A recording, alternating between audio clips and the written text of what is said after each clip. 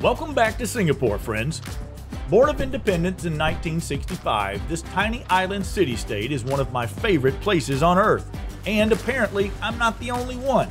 19 million people from around the world visited Singapore last year. So, in this episode, we're going to explore my highly recommended places to consider staying on your visit. There is something for everyone's price point.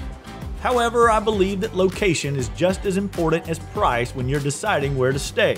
So, we'll approach this based on location, point out pricing considerations, and drop a few pro tips you should know before you book your trip.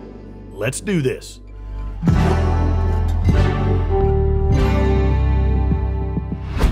Just because you can drive a car across the entire country in about an hour doesn't mean any old Hilton is gonna cut it. Let's start our journey near the downtown core at Marina Bay. The most iconic and recognizable hotel in Singapore, the Marina Bay Sands. Literally the Las Vegas resort vibe right here in Southeast Asia, with rooms starting at about $400 a night. The extraordinary three towers encompass 2,500 rooms and suites, and on top, a three acre sky park with gardens, jogging paths, and the world's largest rooftop infinity pool. Now, you must be a hotel guest to access the pool, but the fact that it's sitting on top of a shopping mall, casino, and features the gardens by the bay, staying here or not, you gotta check this place out. A trip to the top observation deck will cost about $20 per person, which can be redeemed for a drink at the rooftop bar. Next up, just a quick walk across the bay to the Central Business District. Nearly everything you'll want to check off your must see list is easily accessible by public transportation from the Central Business District which, to be completely transparent, is why I almost exclusively stay here at the JW Marriott South Beach.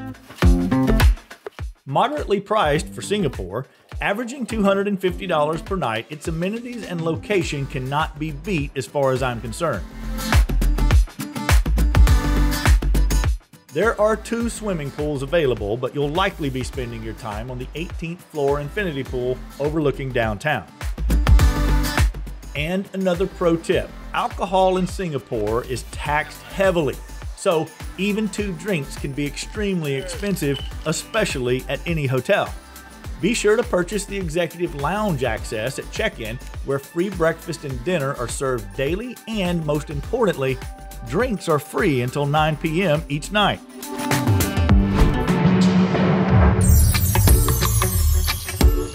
Also in the Central Business District, claiming some of the most dramatic views of the city and Marina Bay, another expensive luxury entry is the Fullerton Hotel. Built in 1928, this official national monument is located just behind the Merlion statue and will run about 350 bucks a night. Now, as I mentioned earlier, location is everything, and Merlion Park is one of the most visited attractions in town. With the head of a lion and the body of a fish, this mythical creature is the official mascot of Singapore. So you have to visit.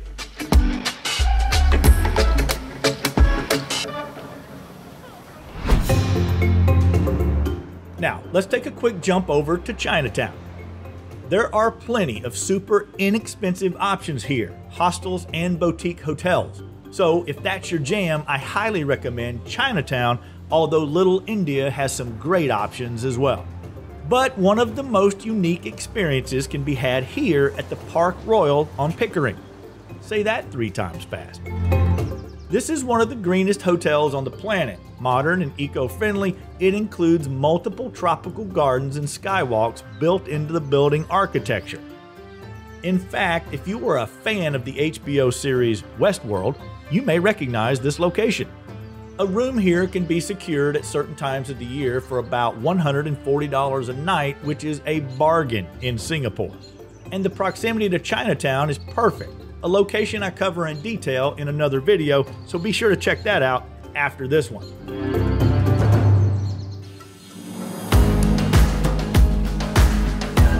Now, this would not be a places to stay in Singapore video if I didn't mention the legendary Raffles Hotel. It's located back in the Central Business District, just behind the J Dub. Freshly remodeled and famously featured in the movie Crazy Rich Asians, no stay in Singapore would be complete without a visit to this iconic hotel. And I did say visit. Nightly rates here begin at $1,000 a night, so you truly need to be crazy rich to stay here. But who am I to judge? You do you. Of course, the Long Bar at Raffles is known as the origin spot of the world famous Singapore Sling. You're going to be tempted to have one of these drinks just to check it off your list. You're in Singapore, you must, right? Wrong. Here's your next pro tip it's a $32 cocktail and tastes straight up like Diet Kool Aid.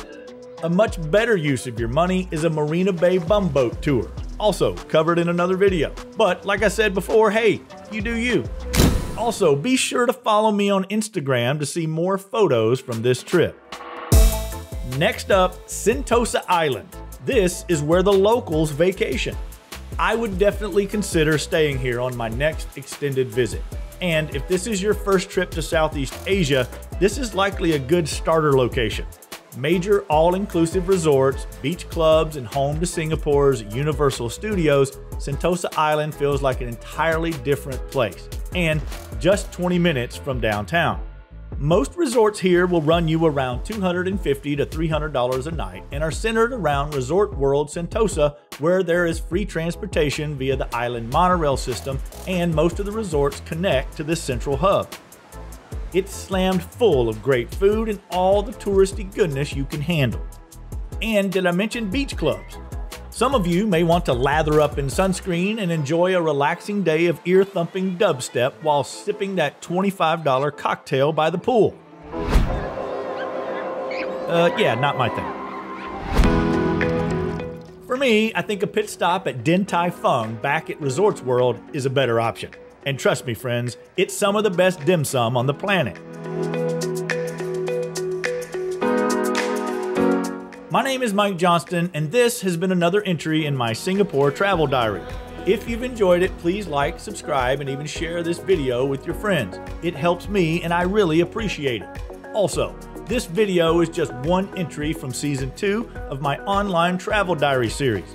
So be sure to watch my other videos from Singapore, linked here, as well as take a look at Season 1, which includes destinations in Europe and the US. Thank you for watching, and I'll see you next week with an all new diary entry.